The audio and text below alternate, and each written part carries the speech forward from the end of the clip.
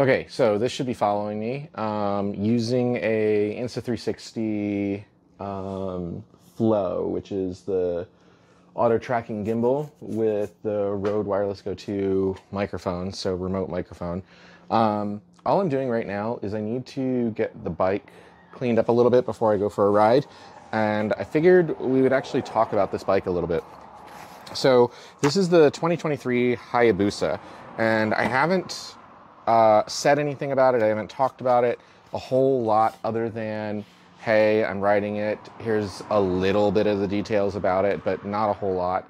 Um, so I figured we'd get into why this bike exists. What what's the deal with this bike? And that um, is I don't know a little bit of a conversation, but.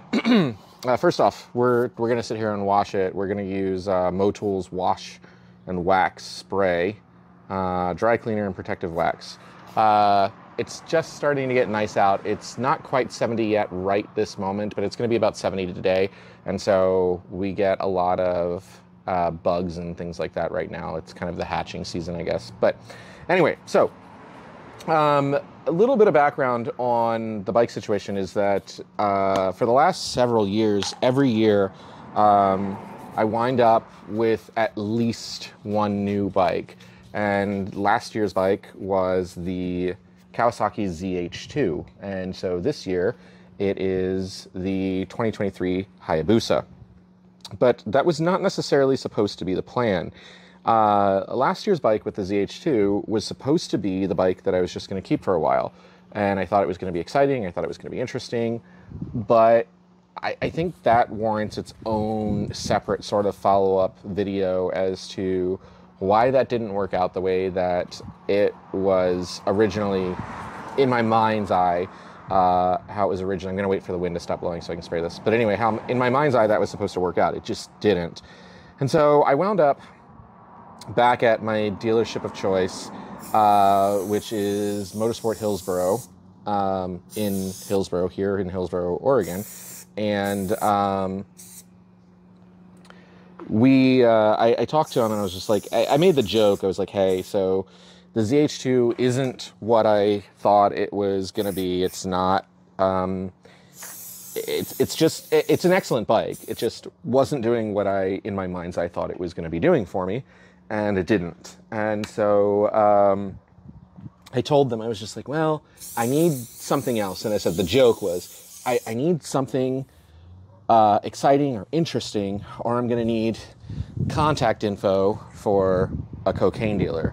And uh, I don't do drugs. I've never done drugs. I've never, uh, I've never even tried a cigarette. So, you know, don't do drugs. But um, anyway, yeah, so that was that was the joke that I made, and they asked, they're like, "Well, have you tried a Hayabusa?" And I told them I was like, "Yeah, I mean, uh, but like a Gen One, uh, I don't even think I touched the Gen Two, Gen One Hayabusa, yeah, but uh, I like that. I don't think that's me uh, in any sense of the word.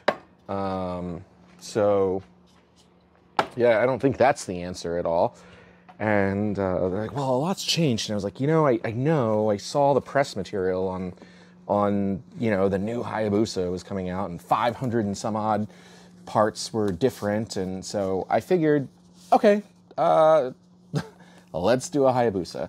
Uh, and so I, I actually went home. They didn't have a Hayabusa. So I went home and I thought about it and I did a ton of research. I went to Reddit and I was just like, hey guys, I buy a new bike every year. Uh, you know, what should I do next? And I'm very familiar with uh, the motorcycle, the the street motorcycle space. You know, the everything that's coming coming and going in that space. And so um, I wasn't, you know, I didn't need an education on the motorcycles, but I was just like, what are what are people excited about right now? And I threw some of the top bikes that I personally would be excited about.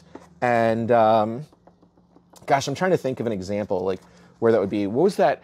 Um, it reminds me of that movie, uh, the Too Fast and Too Furious. The second, actually, I think that that was the third movie. I'm not sure. No, I guess Tokyo Drift was the third movie. Anyway, Too Fast, Too Furious. So uh, Brian O'Conner or, or, Paul Walker is in uh, Miami, and he's working undercover with the Miami Police Department, and uh, he's I think that's the right one. I might not even have the right movie.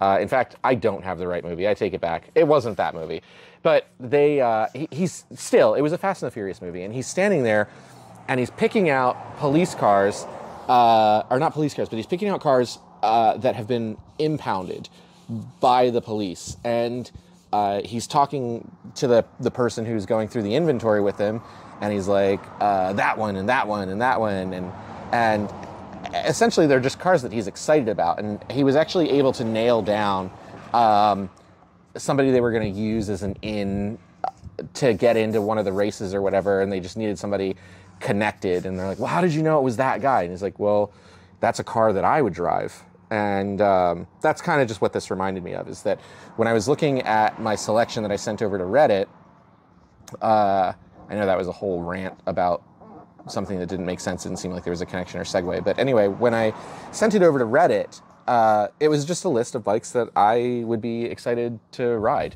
uh, because there's lots of stuff that's out there that's cool, that's neat, that's whatever, um, and I and I can look at. You know, I can go to a bike meet and you know appreciate. But it's not for me. It's not something I'm personally going to be excited about uh, in my own garage space on my own ride. Uh, and and that's what the list was that I sent over to Reddit.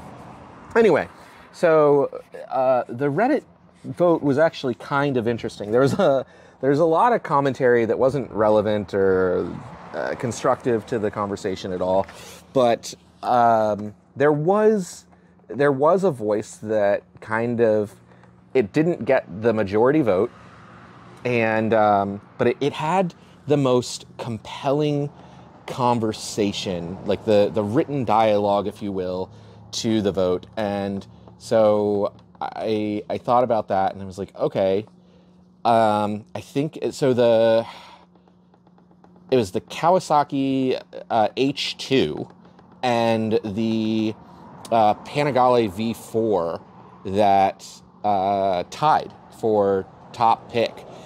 And then I want to say it was the S1000RR and the Hayabusa that also tied for second pick.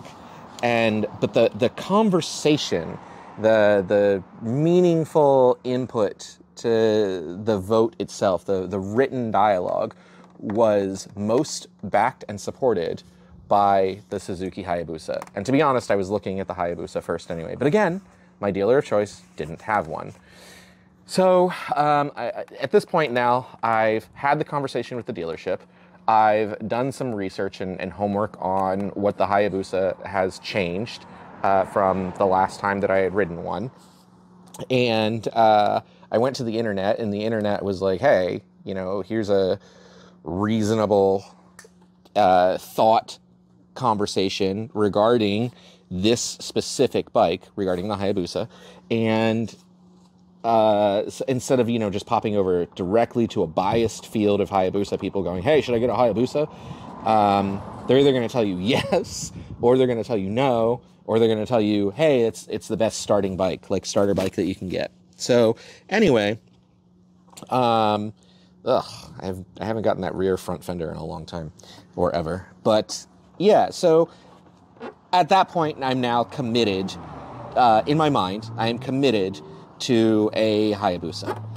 And so um, the dealership actually calls me. They go, hey, listen, we have another dealer that we work with uh, down south, and they have a Suzuki Hayabusa. And I thought it was actually a 22, but they're like, hey, we have a Suzuki Hayabusa. And are you sure for sure that you want this one of these things? Um, because we can go get it from them. We'll do a dealer trade and uh, that's fine. But you have to be sure because, excuse me, we have to take in a couple of quads that we don't really want. We have to take those into inventory. Uh, that we really don't want them. They just don't sell very well here. Um, but that's the deal. If we want the Hayabusa, we also have to buy these from them also. You, are you sure you want the Hayabusa? And I said, yes, I am sure I want the Hayabusa thanks for whatever, you know, make the deal. Uh, I'll take the Hayabusa. And so, uh, cool, deal's done. I guess you know they're they're gonna do whatever it is that they do to have that conversation for the dealer trade, and at some point there will be a Hayabusa in my local area. And so there were other dealerships that had Hayabusas. It's just that I'm I'm fairly loyal uh, to that dealership, and I wasn't in a rush. This was the middle of like this was just before I want to say it was just before Thanksgiving that we were having this conversation, and so um, yeah, they they go and they do the deal, and I'm not super worried about going to another dealership because the riding season's over here in the Pacific Northwest anyway.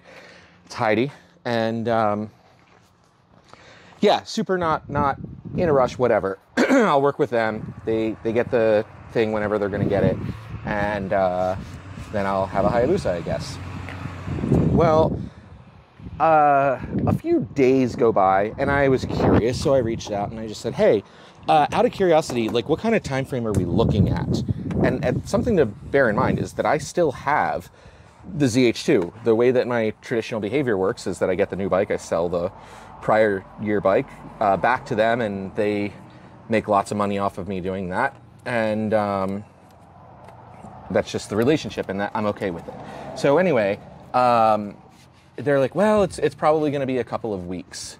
And so now, bear in mind, this is like, I don't know, three days after they checked with me, and they said, hey, are you sure? And um, and so three days later, I reach out and I say, hey, rough ETA.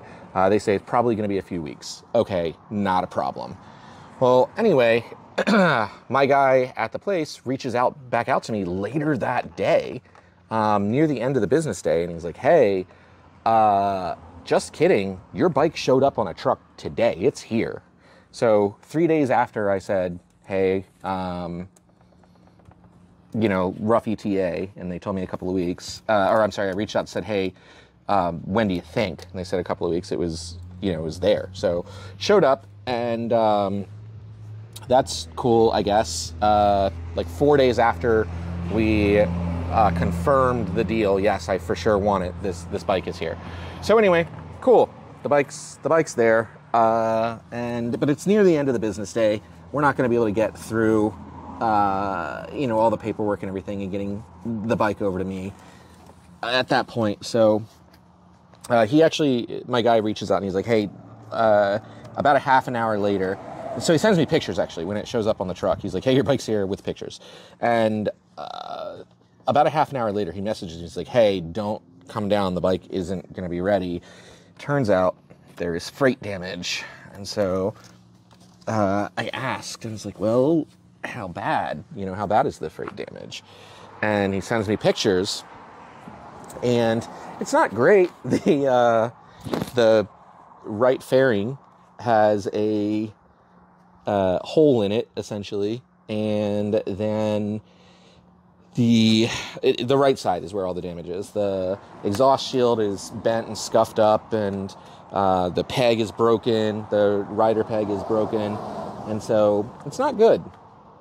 But um, and they're not really sure what the plan is for that for addressing that, and so they uh, he's like, yeah, don't come down.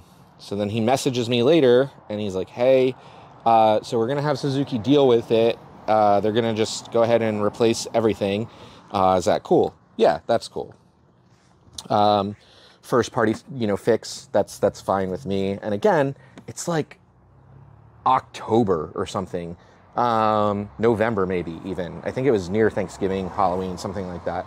And um, yeah, so uh, yes, I'm fine with that. The it's going to be a little while before uh, parts arrive. And uh, once that's all said and done, they'll, they'll do the repair and then we'll go through the paperwork and then I'll have the Hayabusa. Not a problem.